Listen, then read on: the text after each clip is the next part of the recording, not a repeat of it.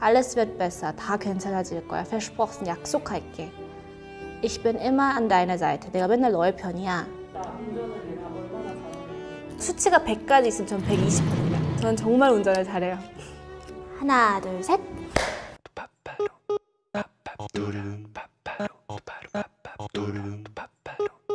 네, 안녕하세요. 오늘 마이보그를 촬영하러 온 배우 문가영입니다. 반갑습니다.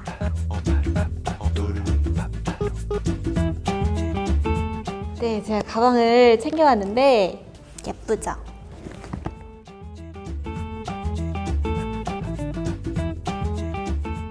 이렇게 꽉 차 있죠? 이게 파우치처럼 쏙 들어가요.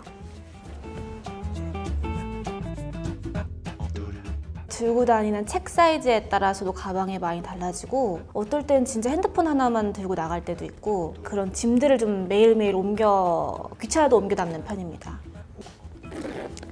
우선 가장 중요한 나의 핸드폰.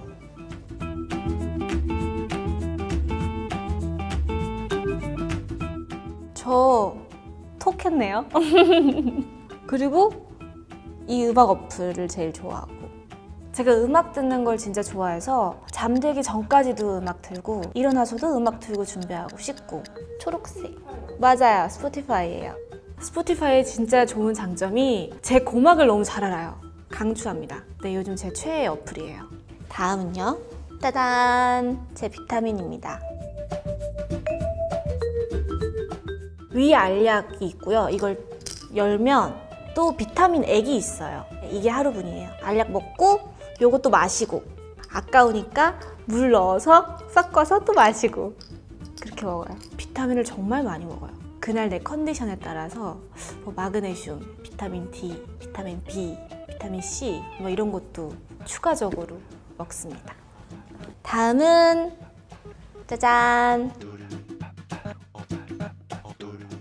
저희 회사에 김서영 언니가 저한테 이게 되게 좋다고 사진 찍어 보내주셔가지고 이걸 제가 똑같은 걸 구입해서 세트 촬영하거나 좀 이렇게 미세먼지 많은 날에는 제가 들고 다니면서 입에 뿌려요. 이걸 제가 여신강림 찍을 때 은우 씨한테도 선물 줬었어요. 되게 좋아가지고.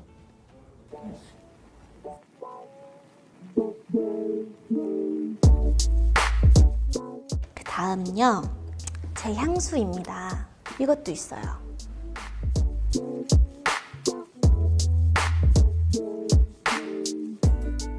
디올 옴므 향수인데요. 제가 중성적인 향을 되게 좋아해서 사실 거의 남자분들이 쓰신 향수를 많이 사요. 그래서 직원분들이 꼭 선물용이라고 생각하시는데 다 제가 씁니다.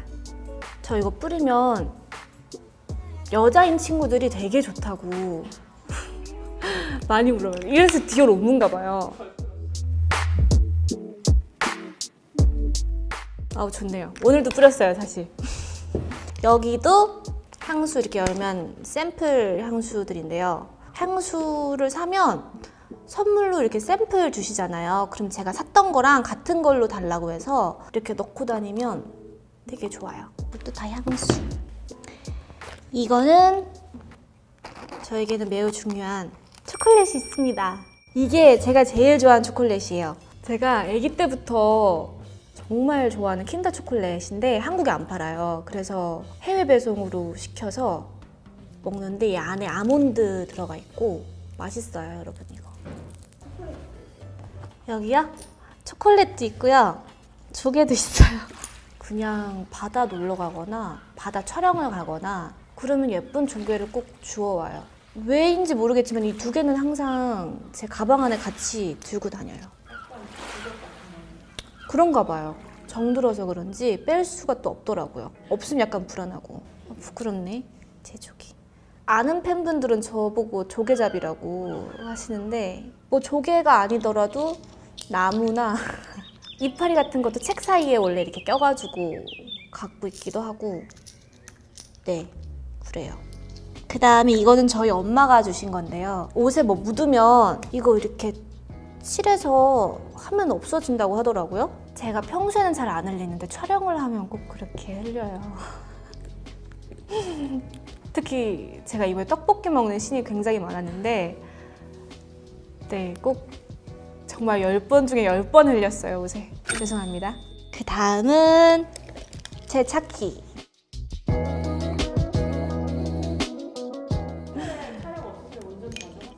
네, 정말 자주 해요. 어, 수치가 100까지 있으면 전 120합니다. 저는 정말 운전을 잘해요.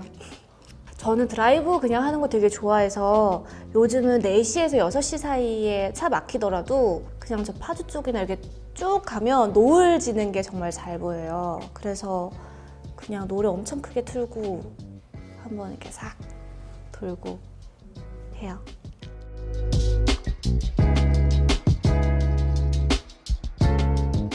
이게 립 마스크예요. 촬영 전에 이래도 되나 싶을 정도로 입에 많이 바르고 자고 일어나서 지우면 정말로 매끈매끈해져요 입술이. 근데 정말 이거 한 이후로는 입술 뜯을 이유도 없고 특히나 저는 촬영하기 전에 이걸 무조건 바르면 다음날 립 바를 때도 일단 갈라지지 않기 때문에 되게 잘 발려서 굉장히 좋습니다. 그리고 굉장히 창피한 게 남았네요. 이게 또 약간 에피소드가 있어요. 자세히 보면 이 색깔이 다르잖아요. 이게 귀에 이렇게 거는 거거든요. 그러면 이게 정말 단단해서 운동할 때 뛰거나 해도 흔들리지가 않는데 어느 날 제가 이걸 잃어버린 거예요. 그래서 살려고 했는데 단종이 돼서 없어서 해외 배송을 시켰는데 색상이 형광 노란색밖에 없어서 음, 그냥 나름 전 마음에 들어서 쓰는데 좀 창피하더라고요.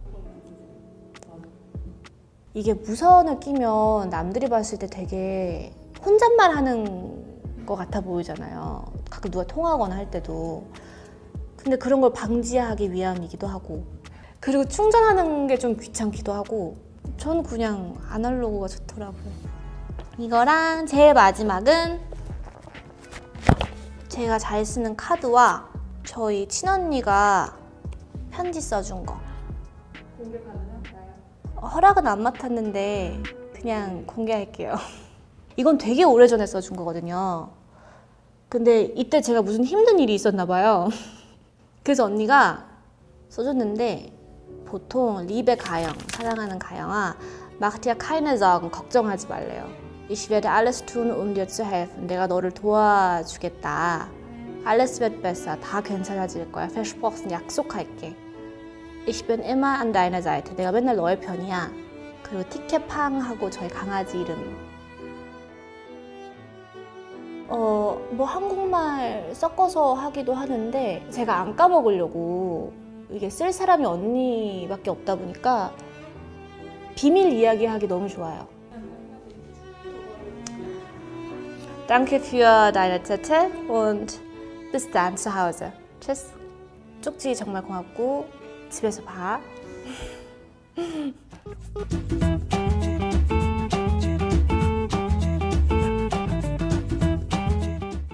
제일 좋아하는 책을 가져왔는데 제가 책을 사면 보여주고 싶지가 않아서 이거 그대로 돌려가지고 숨기고 다녀요.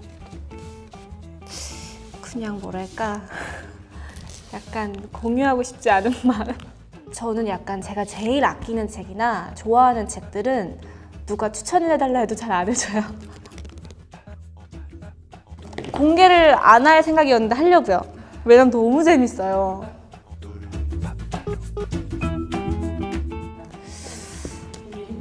어, 아니요. 제가 너무 추천을 많이 해가지고 늘 얘기하는 책이 있어요, 여러분. 명상록을 읽으세요. 그 책은 굉장히 문단이 나뉘어져 있어서 꼭 이렇게 첫, 첫 장부터 읽을 필요도 없고 저도 마음의 안정이 필요할 때 자주 꺼내 읽어요, 그거는. 종종. 그렇습니다.